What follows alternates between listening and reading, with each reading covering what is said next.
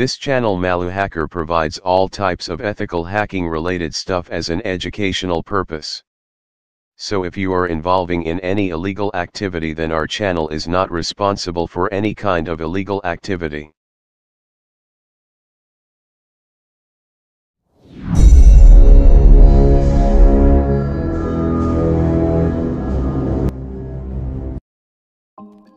Wikipedia Google Amazon YouTube Facebook തുടങ്ങിയ വെബ്സൈറ്റുകളെക്കുറിച്ച് നിങ്ങൾക്കറിയാം പക്ഷേ ഇവ ഇന്റർനെറ്റിന്റെ ഒരു ചെറിയ ഭാഗം മാത്രമാണ് സാധാരണ സെർച്ച് എഞ്ചിൻസ് ഉപയോഗിച്ച് നിങ്ങൾക്ക് ആക്സസ് ചെയ്യാൻ പറ്റുന്ന ഇന്റർനെറ്റിന്റെ ഈ പോർഷനാണ് സർഫസ് വെബ് ഈ പോപ്പുലർ വെബ്സൈറ്റുകൾക്ക് അപ്പുറത്ത് മറിഞ്ഞിരിക്കുന്നതും പൊതുജനങ്ങൾക്ക് എളുപ്പത്തിൽ ലഭ്യമല്ലാത്തതുമായ സൈറ്റുകളുണ്ട് ഡാർക്ക് വെബും ഡീപ്പ് വെബും നിലനിൽക്കുന്നിടമാണ് അവിടെ.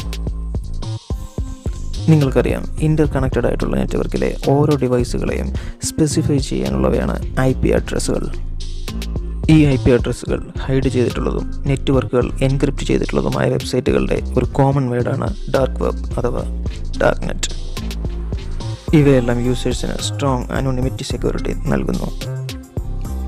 സാധാരണ സെർച്ച് എഞ്ചിൻസ് അതായത് നിങ്ങൾ പൊതുവെ ഉപയോഗിക്കാറുള്ള Google Chrome Firefox Yahoo Bing ഇവയ്ക്കൊന്നും dark net access ചെയ്യാൻ സാധ്യമല്ല.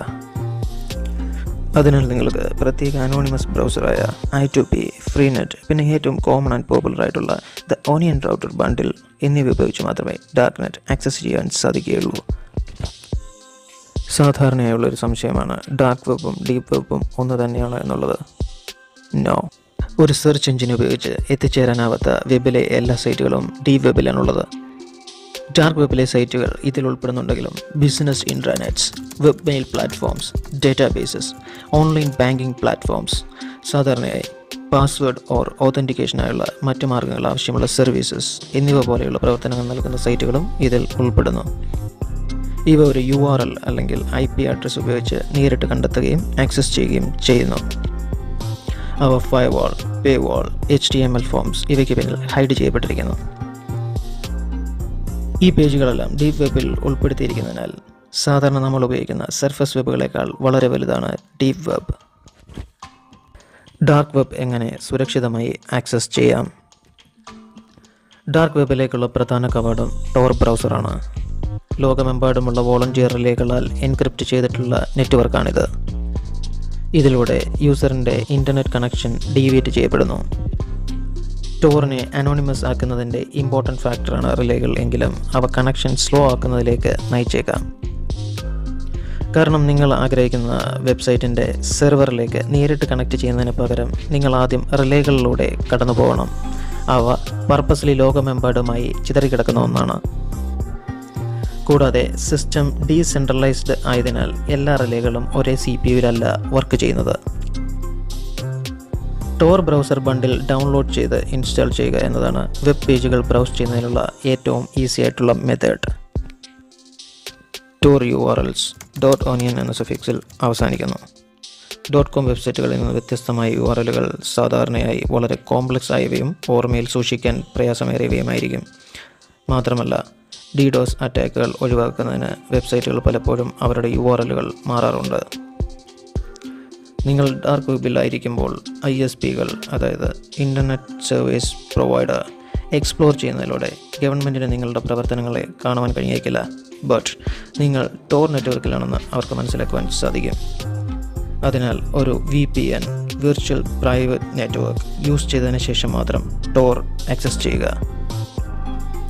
അതുവഴി ടോർ നെറ്റ്വർക്കിലൂടെ പോയി അതിന്റെ ലക്ഷ്യസ്ഥാനത്ത് എത്തുന്നതിന് മുൻപ് നിങ്ങളുടെ network traffic V P N വഴിതിരിച്ചു വിടുന്നു ഈ രീതി ഉപയോഗിച്ച് നിങ്ങളുടെ എൻക്രിപ്റ്റ് ചെയ്ത വി പി എൻ ട്രാഫിക് മാത്രമേ കാണുകയുള്ളൂ. മാത്രമല്ല നിങ്ങൾ ടോർ നെറ്റ്വർക്കിലാണെന്ന് അറിയുകയുമില്ല. അതിനാൽ നിങ്ങളുടെ പ്രവർത്തനങ്ങൾക്കായി ലോഗിൻ ചെയ്യാത്ത ഒരു വി പി എൻ ഉപയോഗിക്കുക. ടോർ ബ്രൗസർ തുറക്കുന്നതിന് മുമ്പ് നിങ്ങളുടെ വി പി എന്നിലേക്ക് കണക്റ്റ് ചെയ്യുക. ഡ്രഗ്സ് വെപ്പൺസ് അല്ലെങ്കിൽ മോഷ്ടിച്ച ഡേറ്റ എന്നിവ പോലെയുള്ള നിയമവിരുദ്ധ സാധനങ്ങൾ വാങ്ങുവാനോ വിൽക്കുവാനോ ആഗ്രഹിക്കുന്നവർക്ക് ഡാർക്ക് വെബ് നൽകുന്ന അനോണിമിറ്റി തീർച്ചയായും ആകർഷകമാണ്. അതുകൊണ്ട് ഡാർക്ക് വെബ് കുറ്റവാളികൾക്ക് മാത്രമുള്ളതാണോ? ഡാർക്ക് വെബ് ഉപയോഗിക്കുന്നതിന് ന്യായമായ കാരണങ്ങളുമുണ്ട്.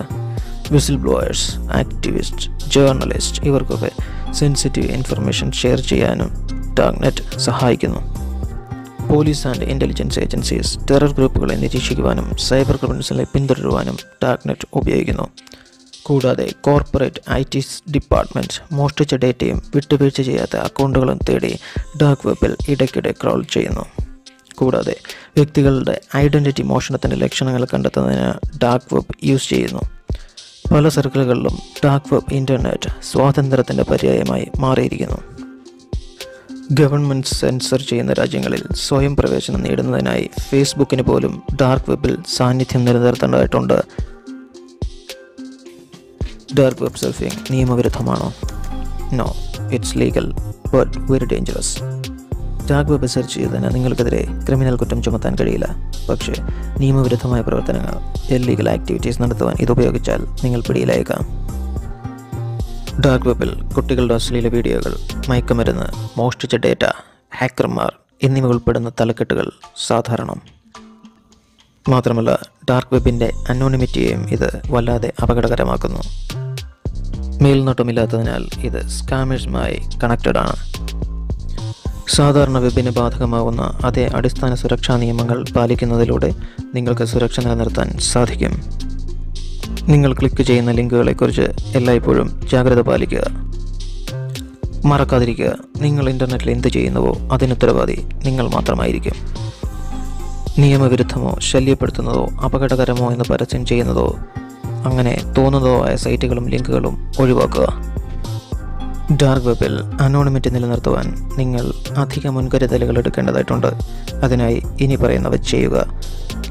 ആദ്യം തന്നെ മുൻപ് പറഞ്ഞതുപോലെ ടോർ എൻക്രിപ്റ്റ് ചെയ്തിട്ടുണ്ടെങ്കിലും ഒരു വി പി എൻ ഉപയോഗിക്കുക. നിങ്ങളുടെ പേഴ്സണൽ ഡീറ്റെയിൽസ് ഒരിക്കലും എവിടെയും ഉപയോഗിക്കാതിരിക്കുക.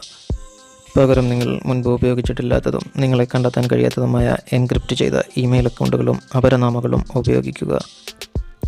വാങ്ങലുകൾ നടത്തുവാൻ ഒരു അജ്ഞാത ബിറ്റ് കോയിൻ വാലറ്റ് ഉപയോഗിക്കുക. ജാവാസ്ക്രിപ്റ്റ് ഡീആക്ടിവേറ്റ് ചെയ്യുക. ബ്രൗസർ പ്ലഗിനുകൾ ഇൻസ്റ്റാൾ ചെയ്യരുത്. കാരണം അവ നിങ്ങളുടെ ഐ പി അഡ്രസ് കാണിക്കുന്നതിൽ കൃത്രിമം കാണിക്കാനിടയുണ്ട്. ടോർ ബ്രൗസർ വിൻഡോ ഒരിക്കലും ഫുൾ സ്ക്രീൻ ആക്കരുത്. കാരണം അത് നിങ്ങൾ ഉപയോഗിക്കുന്ന ഡിവൈസ് ഡിസ്പ്ലേ സൈസ് ട്രാക്ക് ചെയ്യുവാൻ സഹായകരമാവും. ബ്രൗസർ ഫിംഗർ പ്രിന്റിംഗ് എന്നാണ് ഇത് അറിയപ്പെടുന്നത്. ടോർ ബ്രൗസറിലൂടെ ടോറന്റ് ചെയ്യരുത്. കാരണം നിങ്ങളുടെ ടോർ ഐ പി അഡ്രസ് ട്രാക്കറിന് അജ്ഞാതമാണെങ്കിലും നോൺ ടോർ ഐ പി അഡ്രസ്സുകൾ ട്രാക്ക് ചെയ്യുവാൻ സഹായകരമാവും. വെബ്സൈറ്റുകളിൽ H T T P S ഉള്ളവ ഉപയോഗിക്കുക. കാരണം നിങ്ങളുടെ വെബ് ട്രാഫിക് ഒരിക്കൽ ടോർ എൻക്രിപ്റ്റ് ചെയ്ത നെറ്റ്വർക്കിലൂടെ കടന്നുപോയാൽ നിങ്ങൾ നേടാൻ ശ്രമിക്കുന്ന വെബ്സൈറ്റിലെത്താൻ അത് പലപ്പോഴും ഒരു എക്സിറ്റ് റിലേയിലൂടെ കടന്നു പോകേണ്ടതായുണ്ട് ഈ സമയത്ത് നിങ്ങളുടെ ഡേറ്റ ഒരു തേർഡ് പാർട്ടിക്ക് ഓപ്പൺ ചെയ്ത് കാണുവാൻ സാധിക്കും. Man in the middle attack ഇത് നിങ്ങളുടെ ബ്രൗസറിലേക്ക് ഒരു വൾണറബിലിറ്റി ഇൻക്ലൂഡ് ചെയ്യാൻ പോലും സാധ്യതയുണ്ട്. എച്ച് ടി ടി പി എസിൽ ആരംഭിക്കുന്ന യു ആർ എല്ലുകൾ ഇത് തടയുന്നു. ടോർ ബ്രൗസർ വഴി ഡൗൺലോഡ് ചെയ്ത ഡോക്യുമെന്റ്സ് ഓപ്പൺ ചെയ്യുന്നതിന് മുമ്പ് നെറ്റ്വർക്ക് ഡിസ്കണക്റ്റ് ചെയ്യുക. ഓൺലൈനിലായിരിക്കുമ്പോൾ അവ ഉപയോഗിക്കുന്നത് നിങ്ങളുടെ ഐ പി അഡ്രസ് വെളിപ്പെടുത്തുന്നതിന് ഉപയോഗിക്കുക. ഹോസ്റ്റ് മെഷീനിൽ ഡിജിറ്റൽ ഫുഡ് പ്രിന്റിങ്സ് ഒന്നും അവശേഷിക്കാത്തതിനാൽ ടെയിൽസ് ഓപ്പറേറ്റിംഗ് സിസ്റ്റം ഉപയോഗിക്കുന്നത് പരിഗണിക്കുക. അതായത് ലൈവ് ഡി വി ഡി അല്ലെങ്കിൽ ലൈവ് യു എസ് ബി ആയി ബൂട്ട് ചെയ്യുന്ന മെത്തേഡാണിത്. നിങ്ങൾ ഡാർക്ക് വെബ് ഉപയോഗിക്കുവാൻ താല്പര്യപ്പെടുന്നുണ്ടെങ്കിൽ ഇവയെല്ലാം നിങ്ങളെ ഡാർക്ക് വെബിൽ അനോണിമസ് ആയി നിലനിർത്താൻ സഹായിക്കുന്നവയാണ്. സോ ഈ വീഡിയോ നിങ്ങൾക്ക് ഇഷ്ടപ്പെട്ടിട്ടുണ്ടെങ്കിൽ അടുത്ത വീഡിയോയ്ക്കായി ചാനൽ സബ്സ്ക്രൈബ് ചെയ്യുക. താങ്ക്